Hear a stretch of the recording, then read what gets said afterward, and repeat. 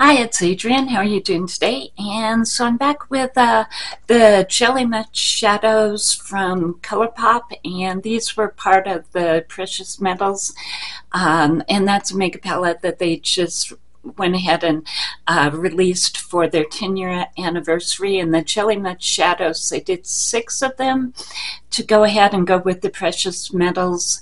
And I got uh, Most Wanted, and so that's what we're working with today. And so I guess we'll go ahead and get started. I started with the uh, Glow Oil, and this has SPF 50 in it. And then as far as what I went ahead and did for my base today, I used the Maybelline Superstay C+. Plus. I have mine in 102.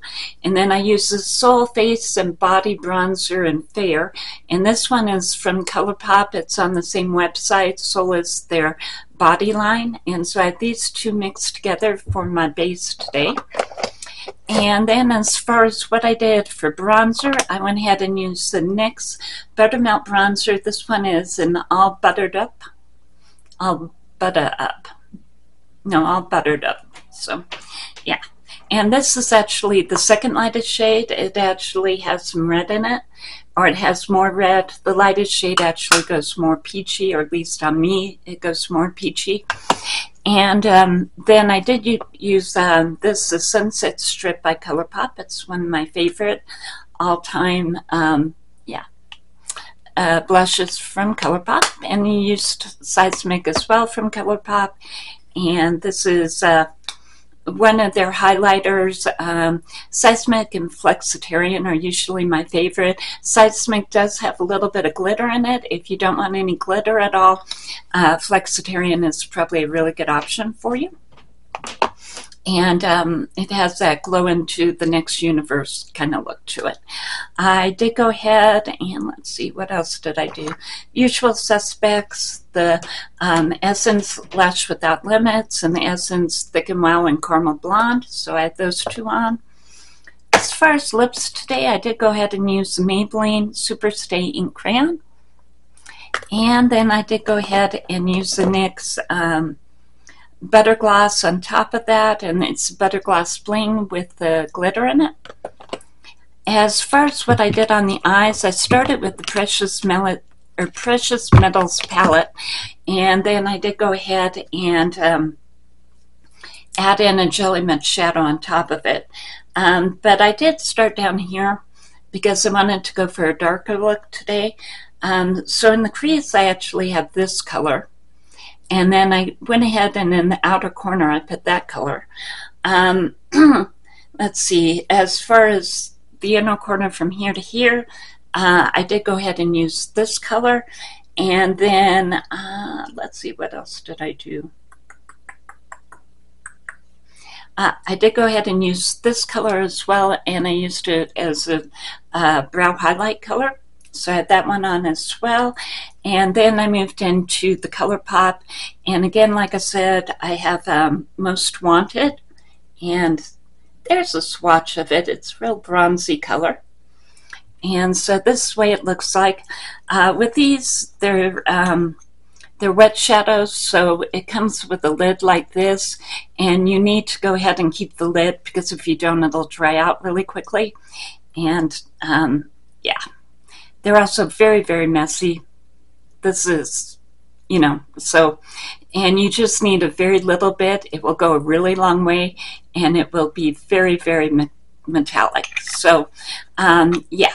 Uh, another thing that I found with the Jelly Much shadows is that when you're putting them on, you really have to think about going ahead and putting the same amount and spreading it the same way um, on each eye because I have had looks and yeah, where one eye was a lot darker than the other eye, and I just, you know, put them both on, and I didn't think about how much I was putting on each eye. And one eye looked like it was really finished, and the other eye looked like it needed another coat. So, yeah, that can happen as well. So, they are definitely a little bit more of a learning curve. They're not exactly beginner friendly, but they're not that difficult to work with. A lot of times with a formula like this, I don't even try with the brush. I just go ahead and go for my fingers right away to go ahead and use them. And um, but the payoff is really worth it. And then uh, once I got the Most Wanted on, I did go ahead and put the glitter shade um, on top of it, and I think that that really turned out pretty. I also used ColourPop eyeliner as well, and this one's a burgundy color. Here's the way that the look came out. So it did come out a lot darker, and um, I think it worked out. I like it. Um, I love this palette, and I really have always uh, liked the makeup palettes because with ColourPop they don't make them huge. You can hold them in one hand, and so you can actually, you know, hold this in one hand and work with the other hand. And the fact that they made one half of the palette um, warm and one half of the palette cool also really works for me. And um, it just, this replaces a whole bunch of palettes that for a lot of us who have big color pop collections are now starting to get older and so they're expiring and we can't use them as much and we don't feel comfortable using them. So getting a palette like this, you can go ahead and replace a lot of palettes. Um, I did do a video called Precious Metals and if you want to take a look at that one, I list off um, all of the palettes that uh, Amanda from uh, Makeup Just for Fun thought were actually um, that you could get partial replacements for a whole bunch of palettes by going ahead and getting this palette. You don't get every color in those other palettes, but you get enough colors and close enough colors that you can do a look that's pretty similar if not, but it won't be the same look that you would have gotten with that palette. So I know that's a long explanation, but um, really it's my feeling that especially with precious metals, um, with these, they usually run about $35, which is a really good price for getting that many shadows.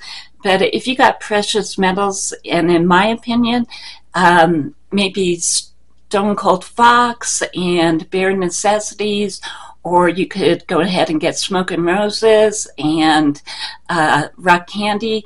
But any, and these are all makeup palettes that I've been listing off.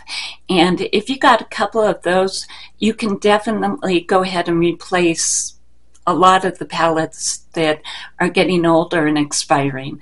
And um, I would definitely suggest precious metals to go ahead and do that.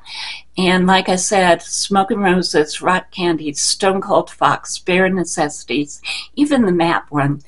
Um, get a couple of the makeup palettes and you can replace a lot of your older palettes. So uh, that's my suggestion there because I really like ColourPop and I didn't just want to put my palettes away and, you know, not be able to do anything more with them because I like them and I've spent time learning how to work with them. Um, yeah, so precious metals definitely, again, precious metals um, can definitely help you replace a whole bunch of ColourPop palettes.